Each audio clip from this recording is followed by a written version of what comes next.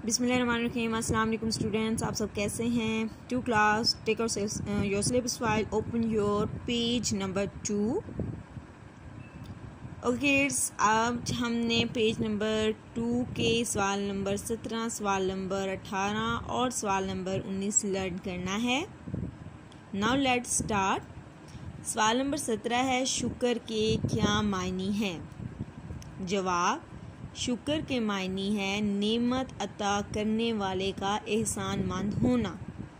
Okay kids शुक्र के क्या मायनी है? शुक्र के मायनी है नेमत अता करने वाले का एहसान मंद होना। ओके किड्स नेमत अता करने वाला कौन है? नेमत अता करने वाला अल्लाह ताला है। अल्लाह ताला ने हमें लातदाद नेमतें अता की हैं, जिन्हें हम गिन नहीं सकते। और अल्लाह ताला की इन अता करदा नेमतों का हमें हर वक्त शुक्र अदा करना चाहिए।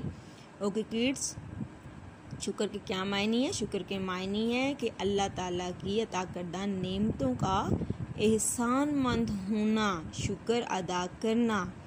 सवाल नंबर अठारह है, नमाज़ के कोई से दो फ़ायदे बताएँ?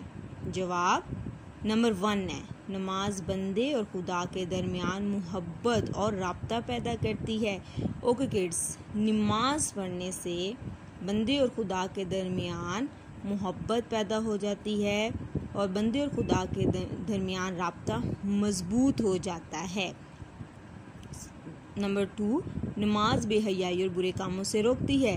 ओके किड्स नंबर टू क्या है कि नमाज़ हर किस्म की बेहयाई और हर किस्म के गलत काम, बुरे कामों से रोकती है। सवाल नंबर उन्नीस, ईमान का क्या मतलब है?